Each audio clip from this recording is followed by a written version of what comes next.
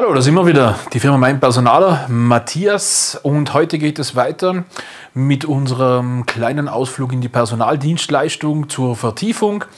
Ähm, wir werden auch immer wieder von ja, Leuten angesprochen, die vielleicht schon mal was mit der Personaldienstleistung zu tun hatten oder immer noch haben, die sagen, oh, äh, darf ich denn zum Beispiel, weil keine Ahnung, du gerade so ein lustiger, bärtiger, junger Herr bist und du gefällst mir gut, ich würde gern zu deinem Unternehmen wechseln und für dich dann arbeiten.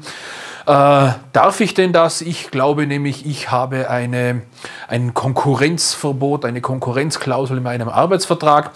Da darf ich jetzt mal schon gleich so das rausgeben, jegliche Vereinbarung mit Mitarbeitern, die bei einem Personaldienstleister arbeiten, also die die extern für die Personaldienstleister arbeiten, die einen Arbeitsvertrag als Arbeiter haben, ähm, dürfen, mit diesen dürfen wir keine Konkurrenzklauseln vereinbaren. Das heißt, ihr dürft hingehen, wo ihr wollt, ihr dürft zum Kunden wechseln, ohne dass ihr rechnen müsst, dass ihr vom Personalbereitsteller eine Rechnung bekommt.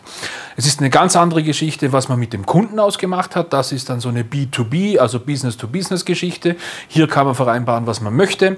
Nur der Personaldienstleister darf mit den Mitarbeitern explizit keine Befristung ausmachen, außer es hat besondere Gründe. Ähm, aber das dann vielleicht zu einem ganz vielleicht späteren Thema. Äh, aber Konkurrenzklausel dürfen wir mit euch nicht ausmachen. Wir dürfen euch nicht in eurem Weiterkommen behindern.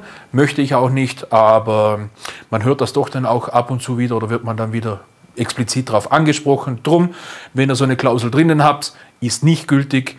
Ihr dürft wechseln und hingehen, wo ihr wollt, ohne irgendetwas befürchten zu müssen. Das war's von mir, Matthias von meinem Personaler.